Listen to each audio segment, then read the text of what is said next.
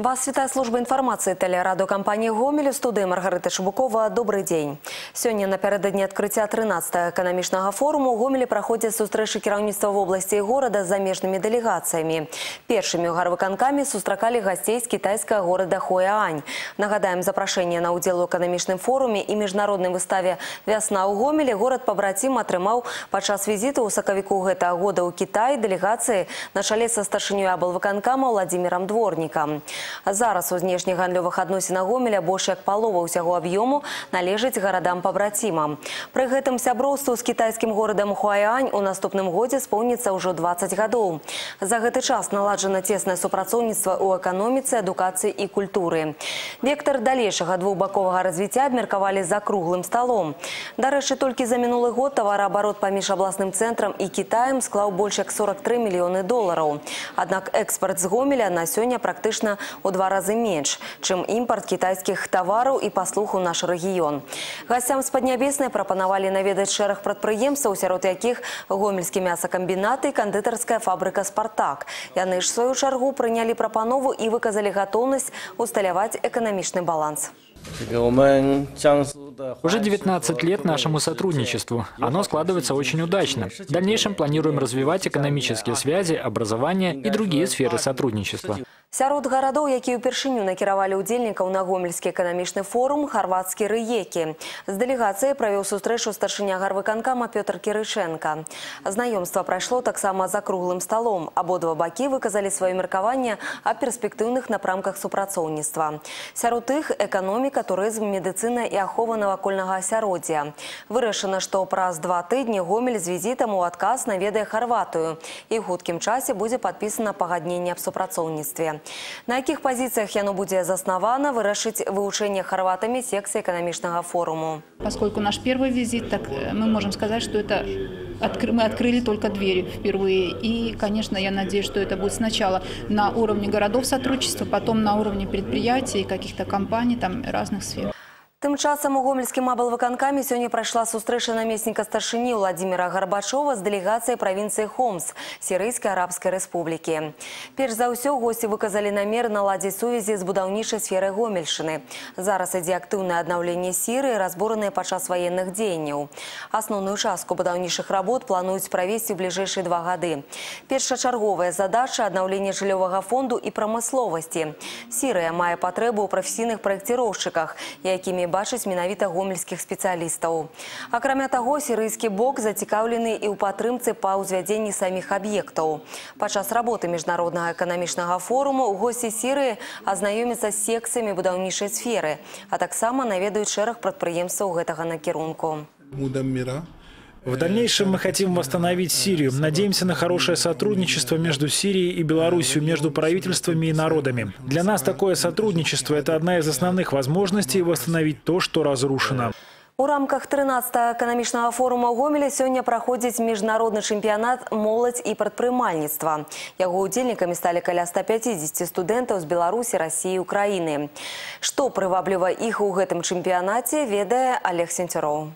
Программа «Молодь и предпринимательство» дзейнічае з 2003 года. За гэты час яе удзельнікамі сталі каля 40 вышэйшых навучальных устаноў з Беларусі, Расіі і Украіны. Сёлета ў Гомель прыехалі 19 каманд. Ёсць, дарэчы, і яшчэ адна каманда, якая знаходзіцца ў гомелі ў статусе назіральніка. Адна з гродзенскіх школ вырашыла такім чынам далучыць навучэнцаў да прадпрымальніцкай дзейнасці. На міжнародным чэмпіянаце моладзь і прадпрымальніцтва сапраўды ёсць чаму павучыцца. Праўда, непасрэдна аб праведзеных праектах каманды ўдзельніцы да пачатку прэзентацыі нічога не расказваюць. Чэмпіянат гэта спаборніцтва. Отбор проекта предварительно не ведется. Это секрет. Студенты, которые приезжают, репетируют заранее, и они даже репетируют одни, чтобы никто не видел. Э, Всегда сюрпризом является то, что представляется на сцене в день чемпионата. Міжнародны чэмпіянат моладзі прадпрымальніцтва праходзіць у рамках гомельскага эканамічнага форума і з'яўляецца практычнай рэалізацыяй дзяржаўнай праграмы малое і сярэдняе прадпрымальніцтва ў Беларусі. Гэты сектар у апошнія гады аказвае ўсё больш значны ўплыў на агульную сітуацыю ў эканоміцы, а таму і ўвага да яго павышаная. Зараз, дарэчы, толькі на Гомельшчыне зарэгістравана каля 40 тысяч прадпрымальнікаў. Есть очень удачные примеры, когда вот эти участники чемпионатов перешли в бизнес и уже реально занимаются своим делом. Для нас это очень важно, потому что цель роль бизнеса и доля в внутреннем продукте, доля в уплате налогов в бюджет, э, конечно, бизнеса малого растет. Я могу привести цифру. Вот за прошлый год доля налоговых поступлений от малого и среднего бизнеса составила в нашей области 23%. Это очень хороший показатель. Па вялікім рахунку міжнародны чэмпіянат моладзі і прадпрымальніцтва гэта пляцоўка, на якой энергічная, амбіцыёзная і крэатыўная моладзь прэзентуе свае распрацоўкі для студэнтаў. Гэта магчымасць знайсці месца працы праз дэманстрацыю сваіх магчымасцяў, а таксама пошук інвестараў для рэалізацыі праектаў для прадпрымальнікаў, азнаямленне з цікавымі для бізнесу ідэямі і патэнцыялам будучых работнікаў. Чемпионат как раз один из немногих, где с каждым годом профессионализм выступления растет ну, от года к году. И я вижу, что эти студенты, которые в этом году, точно знают, куда им надо идти на работу. Олег Сенцюроў, Валерый Гапанько, тэлерадыёкампанія Гомель. Сёння пачала працаваць 17-та міжнародная выстава вясна ў гомелі адно з самых значных і маштабных эканамічных мерапрыемстваў абласнога цэнтра. Сёлета выстава змяніла месца сваёй дыслакацыі, пашырыўся і спіс удзельнікаў. У гэтым годзе вясна ў гомелі размясцілася ў крытым катку на рэчыцкім праспекце і заняла даволі значныя плошчы вакол яго. Усяго каля 5 з паловай тысяч квадратных метраў. Сваю прадукцыю на выставе прадставілі больш як 300 удзельнікаў. Сярод іх прадпрыемствы і арганізацыі з усіх абласцей краіны і замежжа. Цікавасць да выставы выказалі 20 дэлегацый з 12 краін свету. На стэндах прадстаўлена практычна ўсё. Прадукцыя харчовай прамысловасці, будаўніцтва, паслугі турызму і адпачынку. Вясна ў гомелі добрая магчымасць прадстаўнікам бізнесу паказаць сябе, знайсці айчынных і замежных деловых партнеров. И в этом году очень радует, э, впервые за много лет я услышала э, вот такое предложение от наших партнеров. Все просили, пришлите, пожалуйста, перечень предприятий, кто находится на выставке, и список гостей, которые к вам приедут. Э, Для нас это говорит о том, что есть интерес к проведению деловых переговоров. Они хотят провести переговоры как с теми предприятиями, которые представлены на выставке, так они хотят встретиться между собой.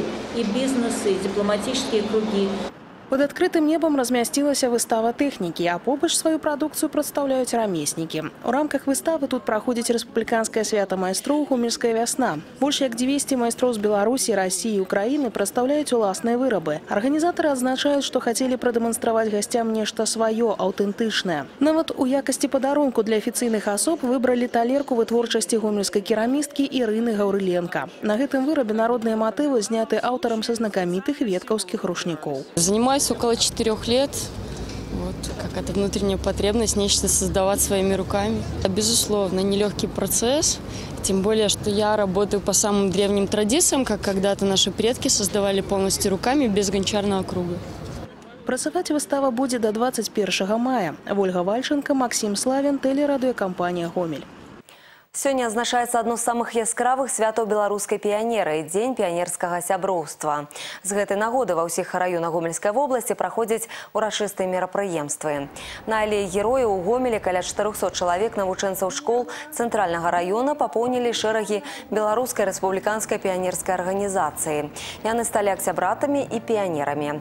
Пасля прынясення клятвы хлопчыкі і дзяўчынкі атрымалі сімвалы прыналежнасці да арганізацыі значкі і гальштукі. Сегодня в этот день пионерской дружбы я стою пионером. Этот день для меня очень волнительный. И я желаю будущим пионерам быть примером для младших товарищей. У гомельскай вобласці ў шэрагах беларускай піянерскай арганізацыі каля 90 тысяч чалавек. Па ўсёй краіне больш як паўмільёна. У арганізацыі шмат добрых традыцый, якія склаліся яшчэ ў савецкі час. Пры гэтым яна з'яўляецца адкрытай для любых прапаноў і ініцыятыў. Пионерская организация тоже развивается вместе со всем миром, шагает в ногу, скажем так. И сегодня мы также активны в интернете, у нас есть и сайт. Мы достаточно активно представлены в социальных сетях ВКонтакте. Пионерская группа Гомельской области называется «Пионерия Гомели». Мы приглашаем всех заинтересованных, которые просто интересуются нашей деятельностью, а также всех пионеров вступить в данную группу и следить за нашими новостями, в том числе через группу. И в группе, к слову, можно также высказать свои пожелания, идеи. Гэты і іншыя навіны вы можете знайсці на нашым сайце ў інтэрнэце па адрасе www.tvrgomель.бай.